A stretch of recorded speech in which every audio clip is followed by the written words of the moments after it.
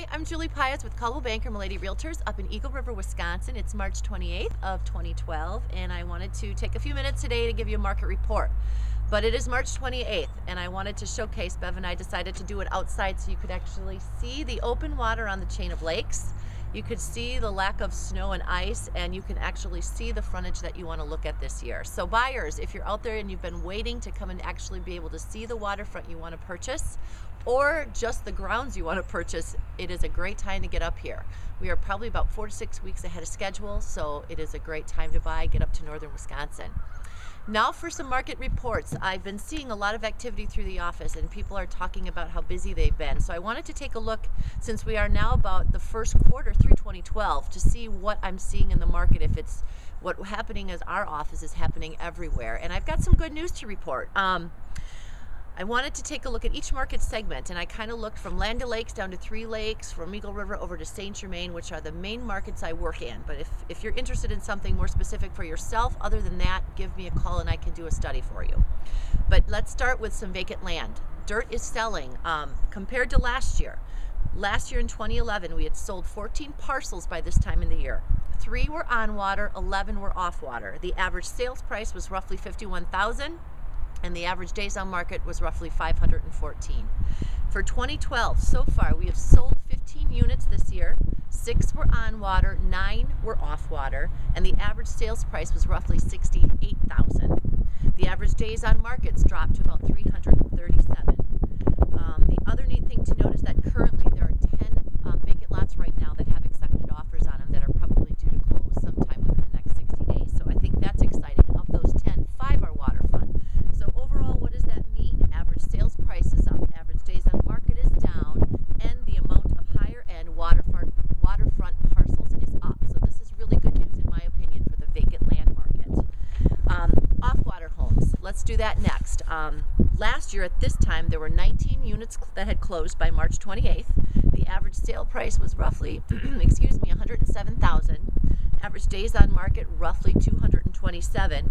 Of those 19 closed sales, I believe based on my research that about seven of them were bank owned, REO properties, and the other 12 were regular arm's length transaction from sellers.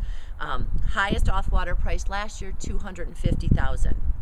Now let's compare that to 2012. We have had 16 units so far close. The average sale price 126,000. Average days on market about 280. And of those 16, five appear to have been bank owned and 11 were not. So, and again, the highest off water price was 200,000. Right now, we have 13 off water markets, or off water homes in my market second segment with accepted offers on them. Of those 13, only three appear to be bank owned. So, what does this mean for the off water market? Total sales are slightly up. Bank owned sales are slightly up. Average sale prices are up and the high number of transactions due to close with a limited number of bank owned properties is good news to me. The neat thing to look at there as well is the highest off water sale that we've had in those counties and townships has been 200,000 which is 50,000 down from last year.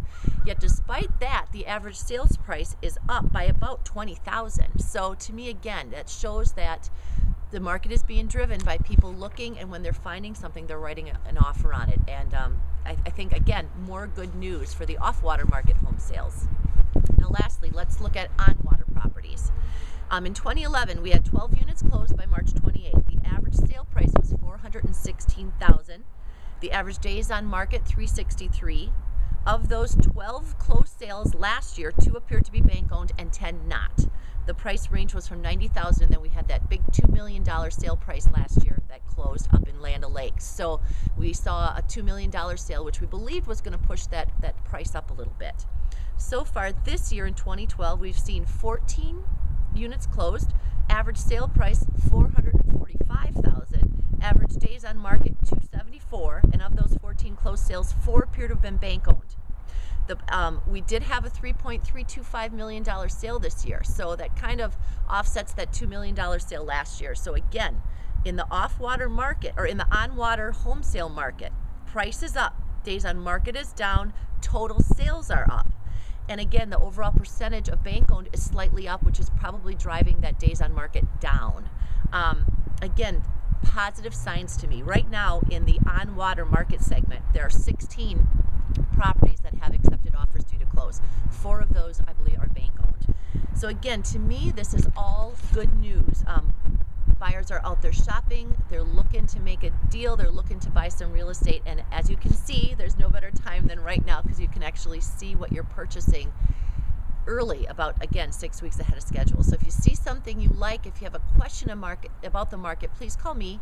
Julie Paez, your northwoods real estate professional. I know i threw a lot of numbers at you. I've got this all in print. If you'd like me to send you a copy just give me a call or shoot me an email. Um, have a wonderful day. Happy spring. Think warm thoughts. And um, let's shop for some real estate